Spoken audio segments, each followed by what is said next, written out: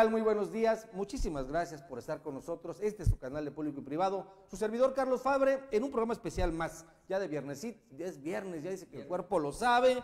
Y bueno, hoy tengo un gran invitado. Un gran invitado porque público y privado es un foro para todos los colores, para todas las opiniones.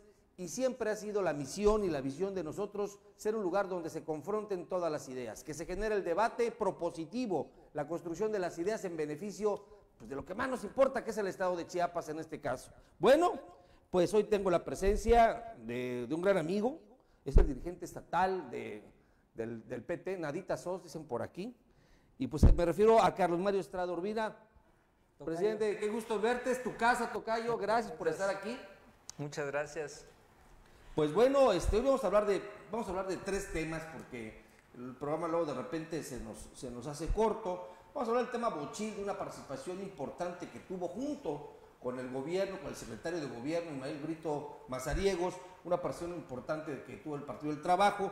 Vamos a hablar sobre su próximo Congreso Estatal y sí me gustaría, por favor, abonaras al tema las reformas electorales y lo que están percibiendo ustedes como partido de manera que vayan a impactar, aunque en cuestión de reformas electorales todavía no se ha dicho la última palabra, ¿no? Claro. A lo mejor se generan más, ¿no? Muy, así Pues entonces empezamos, platícanos ¿Cómo les fue con el bochilazo que es, junto con Chamula? Hoy iba a estar el diputado en sí para hablar del tema Chamula, íbamos a hablar precisamente de este tema, pero pues no vino, ¿no? Ya es la segunda vez que nos deja planchas, pero bueno, esperemos que, me imagino que por sus compromisos en la zona altos no pudo venir, pero esperemos que la próxima vez esté con nosotros. Adelante, Tocayo. Pues buenas tardes, agradecerte, Tocayo, la invitación que me haces, bueno, y a todo tu público. Gracias. Buenas tardes, eh, los saludo con mucho afecto. Eh, no es primera vez que me has invitado, me da mucho gusto estar nuevamente contigo y, lamento que el diputado no haya podido, estar porque es un tema, eh, el tema de, los pueblos originarios este, es muy importante tomarlos en cuenta. Yo siempre he dicho que el, deterioro del medio ambiente, si no tomamos en cuenta los pueblos originarios, pues no, no va a caminar eh, para ir mejorando el, el, medio ambiente. No, aparte es necesario, ya con estas reformas electorales se ha utilizado o se ha mal utilizado la práctica de la política en muchos de esos pueblos originarios. Así es. Y la participación de ellos en cuanto a sus propuestas es cada día más importante porque ayuda a que la gente se siga enterando y siga preparándose y no se deje este, engañar por pseudolíderes que solo quieren beneficios personales. Así es. Pues Tocayo, nada más. Bochil, a ver, para la gente que nos ve de fuera, porque nos ven obviamente en otras partes, de, no solamente en Chiapas, explícanos eh, eh, brevemente cuáles son los antecedentes de Bochil. Mira, Bochil ha tenido, ha sido un pueblo que, que se ha destacado mucho por las manifestaciones, ha sido un pueblo muy especial en la que organizaciones sociales han participado en los procesos. Bueno, y en este proceso electoral les fue mal, o sea, queda un gobierno que según ellos no lo eligió el pueblo y se viene una serie de, inconformidades. Este, es el tema de la, elección de, de, Sí, no, bueno, queda ahí Gildardo Centeno Moreno por parte del Partido Verde y, se generó una, una lucha postelectoral. Posteriormente eh, viene con el programa de Copladen. Este, hay que decirlo, los anteriores gobiernos resolvían el Copladen dándoles láminas, dándoles dinero en efectivo y eso no es posible. Entonces nosotros como Partido del Trabajo en el mes de agosto, eh, recién yo asumido la dirigencia este, estatal del partido, eh, nos hablaron de, la Secretaría de Gobierno porque ahí teníamos líderes que estaban participando en las manifestaciones. Y hablamos con los líderes, hablamos con Venancio López Núñez, que es del PT, con Sebastián López Hernández, que es de, de, Morena, que ellos encabezaban, son dos hermanos que encabezaban, también Marco Antonio Pérez Molina, Orbelín Hernández López, que son compañeros maestros, y decidimos este, buscar una, un arreglo que mediara la Secretaría General de Gobierno, es decir, comunidades y presidentes municipales. Eh, la verdad es que habían 11 secuestrados ahí del ayuntamiento. Nosotros les hicimos saber a las comunidades que estaban cayendo en un delito. Un delito, claro. Muy grave, muy grave, pero logramos al final, logramos destrabar todos esos problemas. La negociación no fue fácil. No fue fácil, fue a raíz de tres, cuatro reuniones en la que estuve presente ahí como dirigente estatal y también estuvo el compañero Amadeo Espinosa Ramos como comisionado político nacional del PT aquí en Chiapas. Saludo a Amadeo Espinosa, donde quiera que se encuentre. ¿Ande tierra chapaneca? Sí, sí aquí está. Ah, eh, acabamos de tener una reunión ahorita en la dirigencia estatal del partido, de la comisión coordinadora, porque tenemos tareas estos fines de semana. Entonces, te digo que, resolvimos el asunto y convenimos que eh, por parte del ayuntamiento no iba a haber ninguna denuncia. Hay serios vicios en las comunidades, que fue promovido por el propio gobierno anterior. lo que tú dices al principio el, presupuesto designado para generar desarrollo en la comunidad repartido de esa manera en láminas que a lo mejor era la manera más correcta, pero lo pedían en efectivo. Sí, lo pedían en efectivo, pero láminas y, efectivo es corrupción. Es corrupción. Es corrupción porque tenían que haber un proveedor, metía las manos ahí, quien te vende la lámina, y nosotros le decíamos a las comunidades, no es posible que, hagan un lado la obra pública por lámina o por dinero en efectivo. Y luego vendían hasta las láminas, sí, ese es, no la ponían en el negocio. Entonces logramos, logramos este, coadyuvar en ese proceso. Pero el 27 de, de, septiembre la sorpresa que llevamos fueron que son detenidos estos cuatro compañeros sí, este, Venancio López Núñez, su hermano Sebastián, Marco Antonio Pérez Molina, Orbelín Hernández y eh, se complica porque ahí hay una muerte, eh, hay un asesinato de uno de la Guardia Nacional que no tiene nada que ver con los compañeros, hay que decirlo. Ellos no están acusados por eso, ellos están acusados por motín y motín es un asunto político. El presidente municipal, ¿qué dice? El presidente municipal dice, no puedo seguir con ese vicio y tiene razón. Y nos dice él también que él no hizo las denuncias. Es decir, está muy complicado el asunto. Lo más importante de esto es que hubo una movilización de las comunidades para pedir la salida de los compañeros este, y a raíz de esa movilización se entabló ya una mesa de diálogo que se denomina Diálogo para la Paz, el Desarrollo y, de, Bochil. Ahí interviene Ismael Brito, el Ahí interviene el secretario. De gobierno. Yo, quiero decir que en todo momento nos ha recibido el secretario general de gobierno y, porque, de, porque le hemos dado seguimiento, el subsecretario también, este, licenciado Pineda me parece que es, este, y eh, también Ulloa, que es uno de los asesores, hay que eh, va mi reconocimiento para ellos porque han eh, estado muy atentos al proceso de Bochil. Entonces, el día martes pasado se, se, instaló la mesa, hubo participación de la Secretaría de Gobierno a nivel nacional. Ahí tenemos producido unas fotografías, creo, de las notas que hemos sacado de Peipe Noticias, donde aparece, apareces tú, aparece el, compañero Amado Espinosa, aparece Ismael Brito, y precisamente los actores involucrados. Sí, en este sí, mira, fue muy importante porque también llegó gente eh, del pueblo de Bochil, ¿sí? Y entonces todos empezaron a quejar de, de, sobre todo los comerciantes, que ya no podían eh, tener sus actividades normales por las marchas y todo eso. Todos se quejaron de las consecuencias.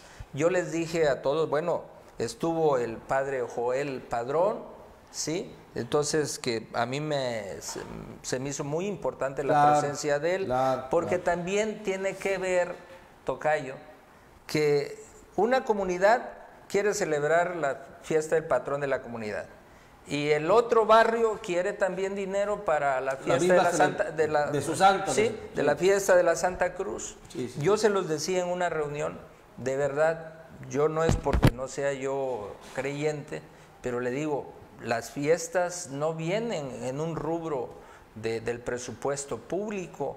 Entonces, ¿de dónde tienen sacar que sacar para, eso. sacar para eso. Si lo metemos a la autoridad, si le obligamos, hacemos un plantón, pues a presión sí cede la autoridad, pero ¿cómo le hace para, para justificar esos gastos? No hay gasto para eso, para ninguna fiesta de ningún municipio. Los, lo tengo que ser, ser muy enfático. Entonces, yo les decía a las comunidades, tenemos que priorizar cuáles son las necesidades prioritarias de una comunidad Sí, y las necesidades que no, me disculpen, son no, no, no, no, son las fiestas. No, no, no, mira, es que hablar de esas, de esas necesidades, de esas comunidades, es retroceder 60 años, ¿estás de acuerdo? Entonces, las, pero el tema de los usos y costumbres siempre ha sido un tema mal entendido por parte de la ciudadanía, pero también hay que verlo, dijeron aquí algunas que cuando estuvieron platicando sobre el tema de usos y costumbres, para el tema de las elecciones en Chiapas, que su cosmovisión es otra las celebraciones para ellos son de otra índole y generan, y generan también tranquilidad, siempre y cuando todos celebren, ¿verdad? Claro. El problema es de que no todos celebran. Son problemas que han incidido incluso en el desarrollo porque los gente, los constructores que han ido, pues les, les, les piden para la fiesta, les detienen la maquinaria si no les da, no los dejan concluir la Hay muchos intereses. Hay muchos intereses. Desde por medio hay que decirlo. Hay muchos y, intereses. Y, lo que no entendemos muchos es que el gobierno ya no es el mismo de antes. ¿Sí? Ya este gobierno, y, lo, lo, tenemos que reconocer, el trabajo que ha hecho el, gobernador, Rutilio Escandón. Sí, en primera, de, recobrar tanta sectaria, el Estado de Derecho. Estamos de acuerdo. Qué bueno que lo dices. Yo, yo, yo fíjate que aquí en esta mesa fui muy puntual porque llegó el representante de la Fiscalía y el representante de la fiscalía nos decía que aprueben todas los, este, las pruebas, que no fueron ellos los delitos. Nosotros estamos pidiendo que se revisen todos los expedientes. No estamos diciendo que todos deben salir. Aquel que tenga eh, algún delito, pues lo tendrá que pagar. ¿Sí? Lo que sí debo de ser puntual, que la fiscalía violó los derechos humanos de los compañeros. Ah, no, había, no había orden, bueno, si bien el caso había orden de presión, pero no había orden de cateo, ¿sí? Entonces, este, eh, en ese sentido, pues también hubo una violación a, sus derechos, humanos. Y los derechos humanos cuando se violan son irreparables. Ha pasado caso, que acaba de pasar este, allá por, este, por Tapachula, ¿cómo se llama? Cacahuatán, ¿no? Sí. ¿No, no? costó una vida, ¿no? Independientemente que el señor nosotros sí, claro, por, supuesto. Yo creo que, que, también tenemos que reconocer como PT que la muerte de, de, ese integrante de, la Guardia Nacional es muy lamentable. Grave. Y, y, y tienen que, grave, grave. tiene que hacer su trabajo la Fiscalía. Investigar. Investigar. ¿Sí? A nosotros nos dicen, nos den la... No, no. El, el, que está, el que acusa está obligado a que nos a demostrar, ¿no? Pero bueno, yo digo que vamos a seguir con esa mesa. Lo que se trata, yo le decía a los comerciantes también de Buchil, que ellos han sufrido consecuencias de una causa y que tenemos que irnos a la causa de lo que ha generado todo el problema en Bochil.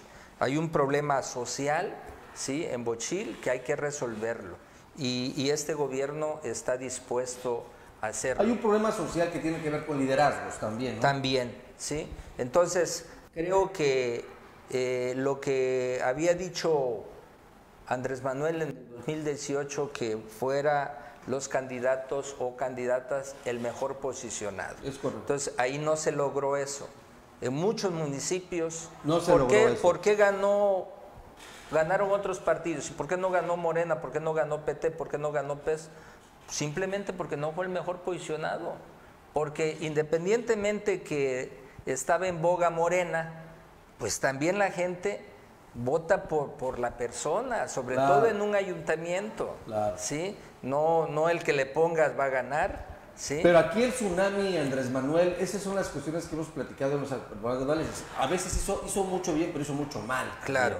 Hubo gente que sin comprar boletito se sacó los rifles. Sobre todo los diputados. Sí, diputados, pero también alcaldes. Sí, alcaldes. también alcaldes que fueron muy beneficiados con la propuesta, con el nombre de Hoy, hoy vamos a ser muy cuidadosos, sobre todo en el Partido del Trabajo. A ver, pregunta clara, respuesta clara. PT pertenece a la alianza todavía con Morena.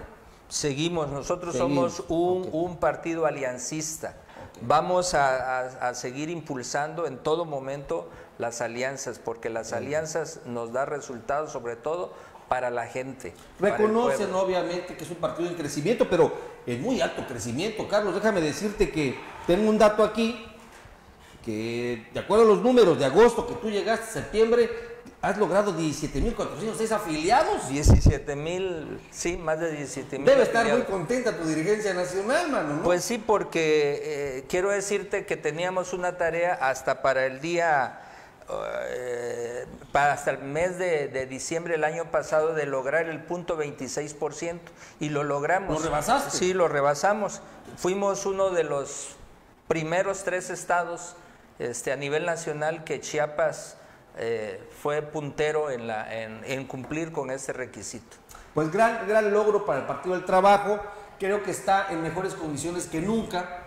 tiene representantes en la Cámara de Senadores, tiene representantes en la Cámara de Sí, tenemos tres diputadas federales, excelente las tres diputadas. Como nunca está el PP. Sí, mira, por ejemplo, la, la maestra Roselia, que es de Comitán, es una maestra indígena, este, es parte de la, de la, dirigencia estatal del partido, Marta Decker, que también es una compañera indígena, eh, este, es parte de la dirigencia estatal, sí, y Maricruz Roblero no es del PT, pero fue propuesta nuestra. ¿Cuándo vas a tu congreso estatal? Vamos a hacerlo el día 30 de mayo. 30 de mayo, Congreso Estatal del Partido del Trabajo. ¿Dónde va a ser? ¿Dónde lo van a hacer? Va a ser aquí en Tuxtla Gutiérrez. Tuxtla Gutiérrez, la capital. Y vamos a desarrollar congresos este, municipales. Eh, en los congresos municipales sí va a haber reestructuración de las dirigencias municipales porque lo vamos a hacer con puros afiliados. Es decir, de, agosto a, diciembre los, van a participar los 17 mil afiliados más los 60 mil afiliados que, ya teníamos, que teníamos anteriormente. anteriormente. Ok, sí. a ver, eh, esto dices que vas a con puros afiliados porque todavía hay confusión. Tienes morenos, tienes priistas, tienes panistas mezclados en ese gran esfuerzo que hicieron ustedes en la elección pasada. Sí, ahorita, digamos, este, lo vamos a hacer con puros afiliados porque así lo marcan los estatutos. ¿sí? Y eh, si algún municipio no ha afiliado o quieren todavía afiliarse, tenemos de aquí al mes de marzo a que puedan afiliarse para que puedan participar en la elección de las dirigencias municipales. De acuerdo. ¿Sí? Y entonces este, eh, va a ser un primer momento en el mes de marzo, abril y mayo. En esos tres meses vamos a desarrollar los congresos municipales. Esos congresos municipales obviamente van a atacar temas como los temas de la reforma electoral. Sí, van, a tocar tres temas. Uno, la estructura electoral. Dos, las candidaturas tempranas, las reglas. y, tres, pues las reformas. Adelántanos un poco, por favor. Yo sé que a lo mejor no, pero Mira, pero sobre, sobre quiénes van a ser los próximos electos, precisamente. ¿Cuáles serán lo que les van a pedir a los próximos candidatos de PT? Pues primero. Creo que sean petistas. Primero, pues no necesariamente. Bueno, porque va a ser una alianza porque mira, e, e, e, ese es lo más importante. Lo más importante es que nuestros candidatos se comprometan a trabajar para el pueblo, ¿sí? a no caer en la corrupción. Vamos a tener eso, esos, esos tres elementos. Sí, no precisamente tiene que ser de izquierda, porque nosotros somos un partido de izquierda, pero con las características que lo señala Andrés Manuel, no robar, no mentir, no... Bueno, eso lo encuentras en cualquier partido. En el PAN, en el PRI, hay que decirlo, hay gente importante, hay gente distinguida. Sí, no necesariamente se, tiene que se tiene que rezar el, comunismo, el maoísmo, que, es parte de, nuestro origen, de nuestro partido. No, necesitamos primero que sea el mejor posicionado, el mejor visto eh, en, un, en un municipio. ¿Vas a hacer encuestas para esos? No. no, porque si, si hay grupos, tenemos grupos de organizaciones sociales en el PT y si se ponen de acuerdo no vamos a tener problema. lo, más importante es que caminemos ahorita con nuestra propia fuerza para en el momento que decidamos las coaliciones, le digamos a Morena, aquí tenemos, esta es nuestra propuesta y si nos ponemos de acuerdo, vamos en una coalición. Ok, bueno, entonces ya están conscientes de que ahorita eh, los, los comités juegan un papel importante. Sí, ¿no? mira, yo, los van a yo, avalar. yo- yo siempre he dicho que tiene que ser un candidato de, por y para, del pueblo, ¿sí? Por el pueblo y para el pueblo. Sí, son tres, eh, diríamos, tres requisitos. Tres ¿no? señalamientos Tres claros. señalamientos claros. No, eh, a lo mejor para nosotros no ha militado nunca en el PT, pero no necesariamente tiene que militar, porque finalmente nosotros entendemos que el partido debe ser instrumento en este sistema que vivimos de partido, los partidos deben de ser instrumentos para llevar a un candidato al poder ver, y que ese gobierno le sirva al pueblo. Carlos Pérez dice aquí un comentario. Todos preguntan por los problemas en cada uno de los municipios y las cosas en sí son sencillas de señalar. La mendiga corrupción que existe en Chiapas con los grandes representantes del gobierno, partidos políticos, líderes, cuales fueran las organizaciones, intereses creados de los grupos as- este, asoladas a la población, optan por una bandera de representación. Hay quienes desde que nacieron aún están en los partidos políticos, mamando a costa de cotos de poder y de lástimas, y, y de lástima porque, o y motivos sin aportar ningún ápice de proyección a futuro por los mismos ciudadanos y de Chiapas. Pero ahí siguen mamando del presupuesto público, cobrando dobles sueldos, cuando es mero sabido que no puede servir a dos amos. A la vez, zapatero a tus zapatos. Gracias por el comentario. Como es, como es costumbre del público privado, leemos todos los comentarios. A Carlos Pérez, gracias. Tiene razón. Tiene Carlos. razón, Tiene claro. razón. No Mira, yo, yo, yo no, cuando se hablaba de la corrupción, yo, yo decía que no era el, el- el fondo del asunto, no era la corrupción, y sí es la corrupción. El mismo sistema eh, económico que tenemos neoliberal no puede caminar sin corrupción. Así es. Sí, este sistema económico que tenemos, este modelo económico neoliberal. es neoliberal. Actualmente Y es neoliberal. es inherente a la corrupción.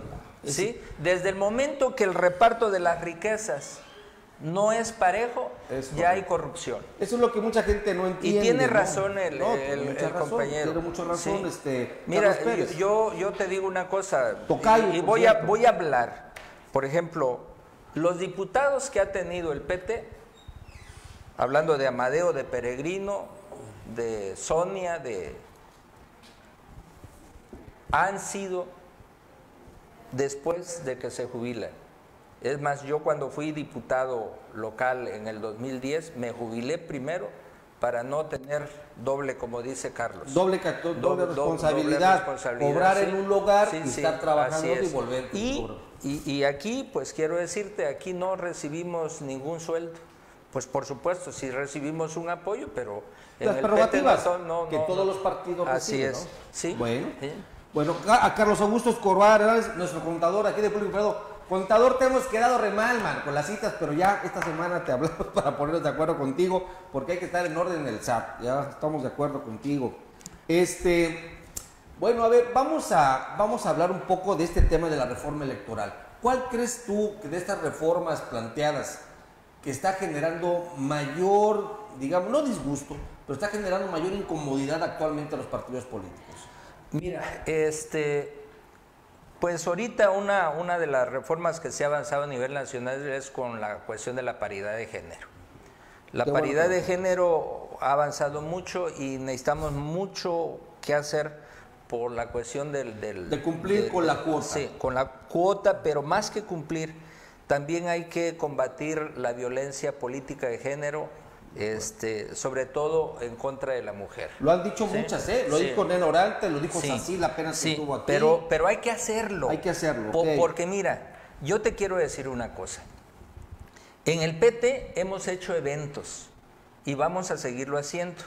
Yo estoy por entregar el plan anual de actividades y, y voy a duplicar la- la- los eventos que se relacionan con la capacitación de la mujer.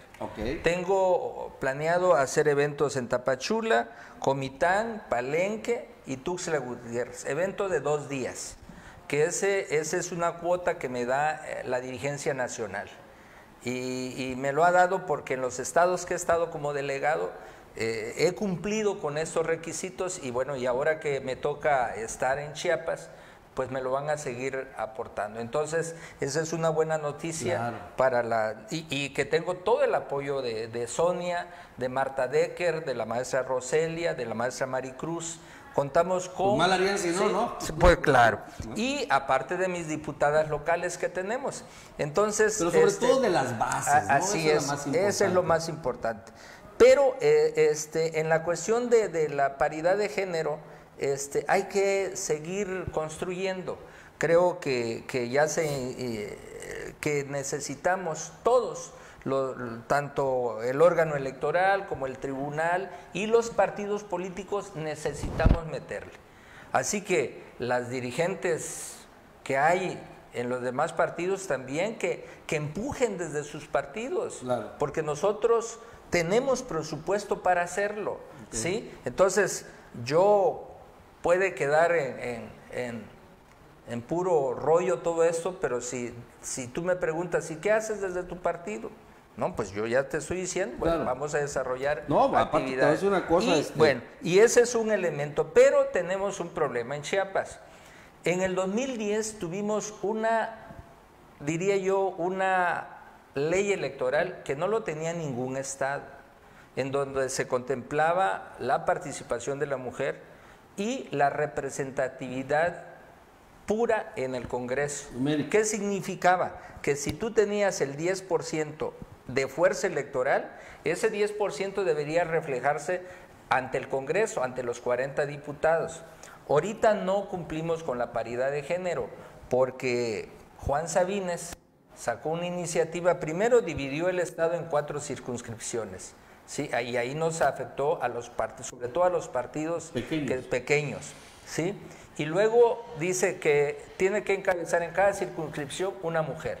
Y el Congreso está sobre representado, no hay paridad. Hay más mujeres, hay más mujeres hombres, y eso no es un y, te quiero decir una cosa, está tuvimos una reunión los dirigentes de los partidos, todos, nadie faltó Incluso este, la dirigente de, Nueva Alianza está de acuerdo, las mujeres están de acuerdo en que sea paridad de género. Que sea igual. Vamos, vamos, coincidimos los partidos en que sea una sola lista de circunscripción, ¿sí? Y que encabece la mujer. No hay problema, o sea, no, ahí no tenemos ningún inconveniente, ¿sí? Porque la, la participación de la mujer y, tiene que ver también la violencia política que hay, no es más que es una discriminación. ¿sí? Sí. Nosotros, yo lo he dicho con las compañeras, un misógino no es hombre. ¿sí? Sí, aquel que golpea a una mujer no es hombre. Nosotros, los hombres, queremos a las mujeres y queremos caminar con ellas. Y de verdad que hay mucha capacidad en ellas. No, aquí lo hemos discutido con varias mujeres talentosas de la vida política, no solo de Chiapas, sino de México, y realmente sí, las mujeres observan, analizan los problemas de otra manera. Así es. Tienen una, percepción totalmente diferente. Persuaden más. Persuaden más. Sí, y, hay, que y hay otro dato muy importante. Fíjate que en, este, en esta coalición de Juntos Haremos Historia, curiosamente, las candidatas fueron las que más aportaciones le dieron a Andrés Manuel. Las más guerreras. las más guerreras. mayor votación tuvieron. Eso también hay que decir. Sí. Definitivamente estamos ante un fenómeno no feminista, porque la participación de la mujer ya no se incluye solamente, aunque no está mal dicho eh, la palabra feminista eh, para las mujeres, pero este, están, están en una actividad política, social, yo creo que como nunca en la historia, cuando menos en el Estado de Chiapas. y eso hay que aprovecharlo. Sí, por, supuesto. Hay que aprovecharlo. El otro aspecto eh, de la reforma que estamos impulsando nosotros, fíjate que en el mes de agosto se llevó a cabo un congreso estatal indígena que ahí fue cabezado por Margarito Ruiz Hernández. Y entonces este, con ellos tenemos un compromiso como PT. Vamos a impulsar una reforma en donde eh, eh, la participación de los pueblos originarios sea efectiva. En un municipio donde el 80% de población sea indígena, deberemos de, debemos de llevar un, candidato o candidata indígena. Si no se logra en la reforma, nosotros como partido del trabajo lo vamos a hacer. Qué bueno, eso me da mucho gusto. Que deberían ser, la verdad, este Tocayo, este tipo de propuestas no deberían ser impuestas. Claro. Deberían ser ya parte de la esencia de los partidos que se dicen, obviamente, en este orden, pues democráticos, participativos, etcétera, etcétera. Claro. Deberían de ser, no debería ser afuera. Entonces tenemos ese compromiso, hemos estado acudiendo a reuniones con ellos, porque no es posible que el 40% de la población sea indígena y no estén representados. De acuerdo. ¿sí? Entonces vamos a impulsar esos esos aspectos. Oye, ¿y la propuesta que se hizo? ¿Cómo ves ese tema de la propuesta del 50% del presupuesto? Te aniquila totalmente, ¿no? Mira, yo... Eh, ¿O tienes que entrarle porque eres aliado de Moreno? No, no, no, no. No, hay cosas que, hay, aspectos, son razonables, ¿no? Hay aspectos, yo lo he dicho, a algunos no les gusta, dentro de mi partido que yo lo diga, pero una cosa es que seamos aliados y otra cosa es que seamos subordinados, no, somos subordinados. Vamos a seguir apoyando a Andrés Manuel, pero vamos a señalar cosas en donde no estemos de acuerdo. Yo nada más te digo una cosa, el presupuesto del INE... Lo has dicho cuatro veces, vamos a seguir apoyando a Andrés Manuel, no dices a Moreno. No, esa es con Andrés Manuel que tenemos, eh, con que hemos caminado. Interesante, para que quede claro. Y, hay que reconocer, Carlitos, hay que reconocer que dentro de Morena hay compañeros que son de izquierda. Sí, tienen muy claro hacia dónde hay que, hay que seguir caminando, seguir navegando. Pero, por ejemplo, en el caso del presupuesto del financiamiento de los partidos, yo te quiero decir lo siguiente, que el presupuesto que se le da al INE el 64 o el 66% va destinado a la burocracia del INE. 180 mil pesos gana el, consejero, y cada gana, más, que, el presidente gana más que el presidente de la República. Y ayer descubren que se asignaron un, bono todavía. Sí, pero mira, ese presupuesto que le destinan al INE no representa ni a una milésima parte del presupuesto global entonces, los de Morena no ven cuánto gana un, consejero. ¿Por qué no revisamos eso? Nosotros estamos proponiendo, tenemos la propuesta en el Congreso Federal, que no se rebaje el, 50%, que se rebaje el 60%, pero piso parejo para todos. Para todos. Y evitar el dinero privado. ¿Por qué el dinero privado? Pues antes hablábamos de, que la oligarquía era la que estaba en el poder. Le damos, si permitimos el dinero privado a los partidos políticos, va a ser la oligarquía que va a seguir gobernando. Dos, el narcotráfico también. El crimen Entonces, organizado. el crimen organizado. Entonces, sí, nosotros ahí no estamos de acuerdo en la aportación del dinero privado. Y muchas veces dice la gente, oigan, que mejor se sostengan con dinero privado, sí, pero si se sostiene, si un diputado llega con dinero privado o un ayuntamiento llega con dinero privado, no van a responder a los intereses del pueblo. Van a responder a los intereses de quien, lo, apoyaron. claro. Entonces, eso sí es un tema muy delicado, ¿sí? Si de por sí los candidatos dicen, a ver, yo no tengo compromiso con ustedes, a mí me vendieron la, presidencia, a mí me costó comprar los votos.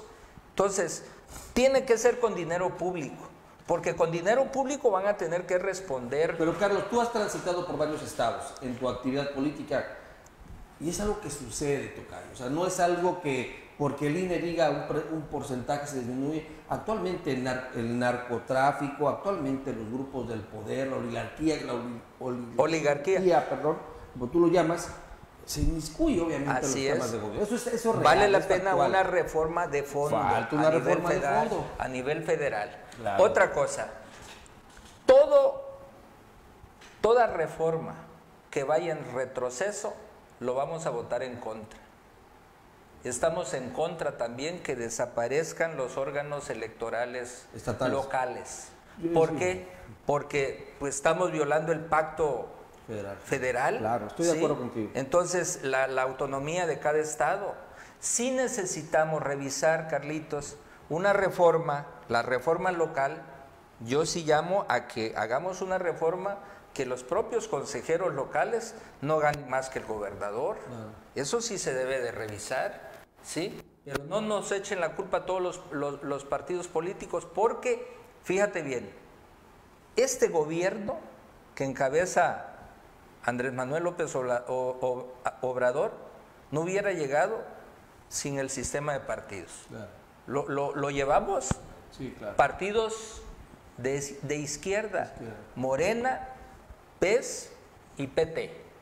Sobre todo nos sentimos más responsables nosotros porque desde el año 2000 acompañamos a Andrés Manuel. Y no nos podemos dar nosotros mismos un balazo en el pie.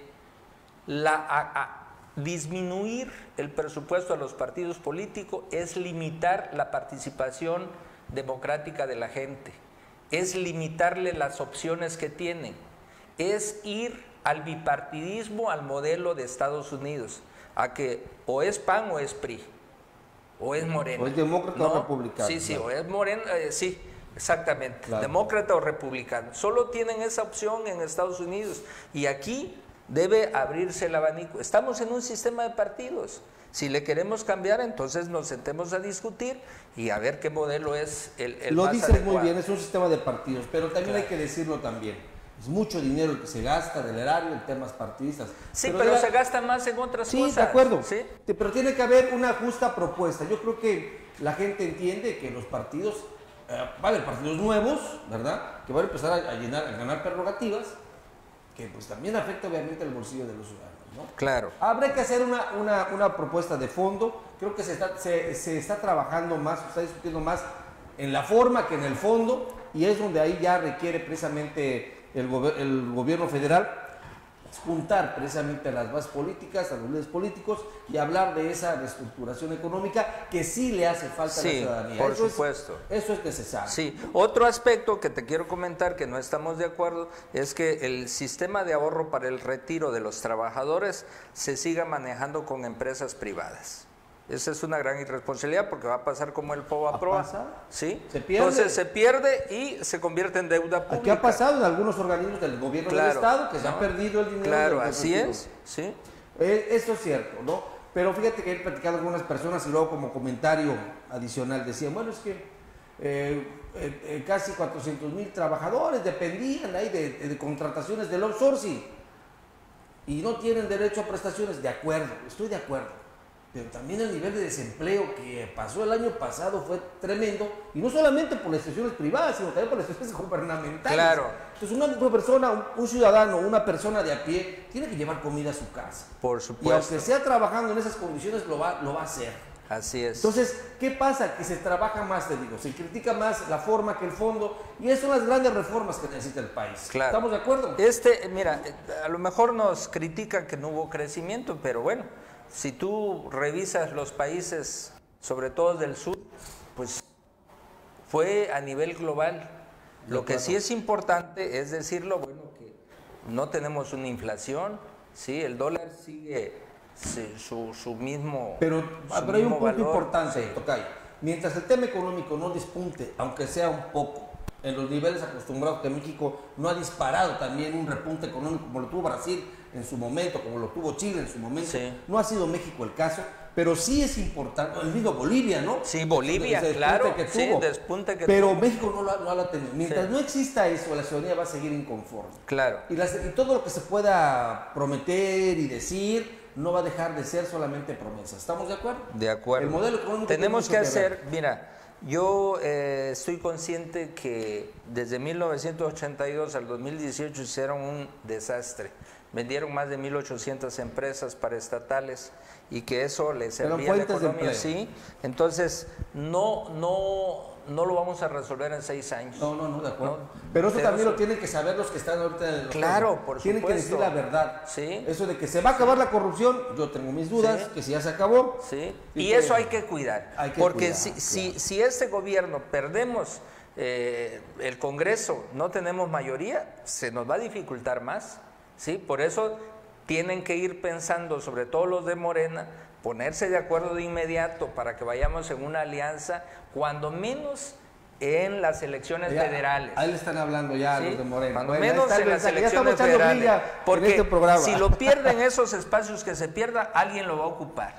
Y, y, ojalá y fuera el PT y, y, el PES. Hoy, por ejemplo, Público y Privado lanzó una convocatoria para los suspirantes al gobierno de Tuxtla Gutiérrez. Es increíble, eh, solamente apenas media hora que empezó la convocatoria, ya llevaba más de 1.400 este, reproducciones y hay mucha participación de la gente. ¿Y sabes por qué?